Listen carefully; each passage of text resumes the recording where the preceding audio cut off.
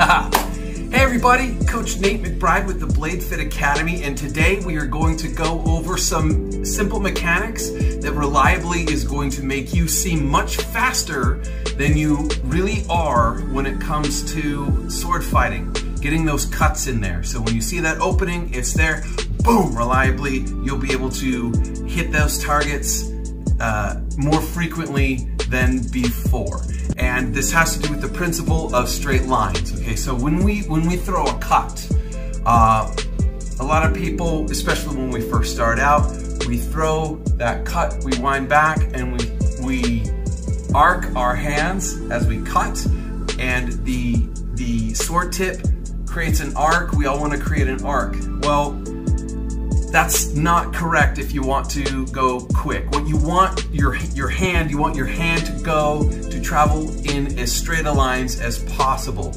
The tip of your sword is going to arc, but your hand is going to travel in a straight line. And I'm going to demonstrate this with only my hand so you can see my hand then I'm going to demonstrate it since I'm inside my house today. I'm going to demonstrate it with this cool little dagger so I don't hit my ceiling. And you'll see that the tip still arcs, but my hand will travel in a straight line. This especially works great for saber, but it works for all one-handed swords. And actually, if we adapt this um, for a two-handed grip, it actually works for longsword as well that's going to be a different video. So what I'm going to do is I'm going to get into my saber stance, like so.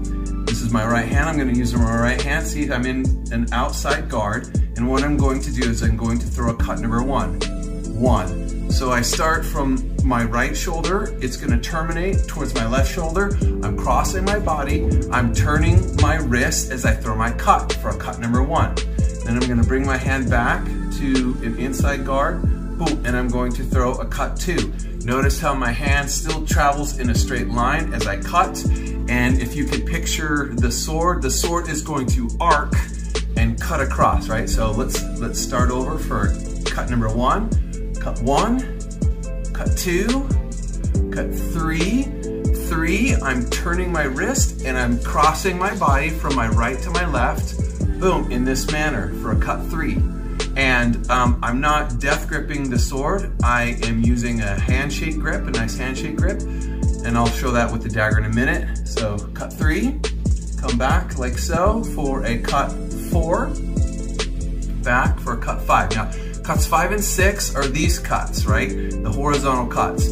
Now, what I don't want to do is create these sweeps, right? Uh, that's slow. I want to, what, I, what I'm going to do is I'm going to cut in a straight line, but a diagonal straight line. So I start close to my body and I end up further away in a diagonal. And what happens is the sword uh, tip, the sword blade will cut, will sweep across as I do that. So cut five, back, cut six, back. Cut five, back, cut six, back, okay? And then cut seven, there's several different ways you could do a cut seven. So if I'm in my stance here, I could be low and I can bring my hand up high for a cut up here for a cut seven. I could have my hand high and I could cut downward for a cut seven. Notice how my hand travels in a more or less a straight line at a diagonal going down. Cut seven, or I could do it straight across, boom, like this, and just turn my wrist for a cut seven, like so. Okay, so from high, from low, and the same place. And then the, the tip is going to hit on top of the head. Okay, so now let's go ahead and do that with this fancy dancy dagger here. So I'm an outside guard, cut one. Inside guard, cut two. Outside guard again for a cut three. Inside guard for a cut four. Come back this way, cut five.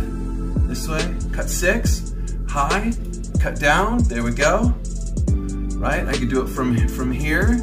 Let's do it from inside guard just cause. Cut like this, right? Right to the top of the head. Um, let's see, I started low and I went high. And I go straight across. Let's say I'm doing this kind of thing. There's an opening and boom, straight across.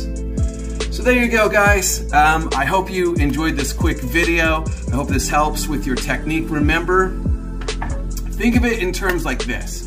When you're throwing a punch uh, unless it's a finishing move, you don't want to come back like this for a big haymaker and sweep like that.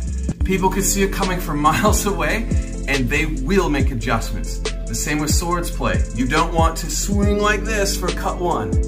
You don't want to do this. You want to just do this. It's much faster.